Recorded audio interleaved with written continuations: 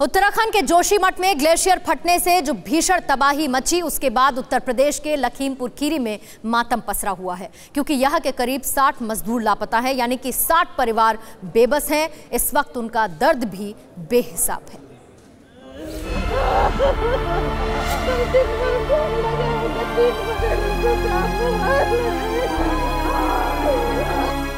तबाही का वो मंजर आया और चला गया, लेकिन छोड़ गया हमेशा हमेशा के लिए टीस पैदा करने वाले निशान।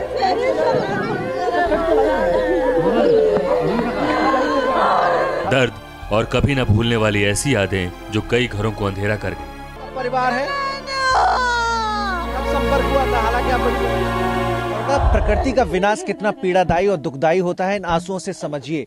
जब से इन्हें खबर मिली है कि वहाँ पर हादसा हुआ, तब से संपर्क साधने की कोशिश हुई थी, लेकिन तब से संपर्क हो नहीं पाया। आँसू लगातार निकल रहे हैं। पूरे परिवार ने खाना नहीं खाया। है भूलनपुर गाँव में मैं मौजूद हूँ। निघासन तहसील का हिस्सा है और केवल एक परिवार की कहानी नहीं है, बल्कि ऐसे करीब 40 परिवार आसपास के गाँवों में हैं, जिनके 60 लोग हैं, जो वहाँ पर पावर प्रोजेक्ट में काम करने गए थे। ये सोहन का परिवार है।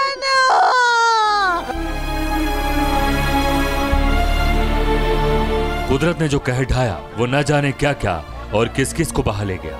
कौन कहाँ है, किस हाल में है, ज़िंदा है भी या नहीं, ये सोच सोच कर यूपी के लखीमपुर के कई परिवार गमजता हैं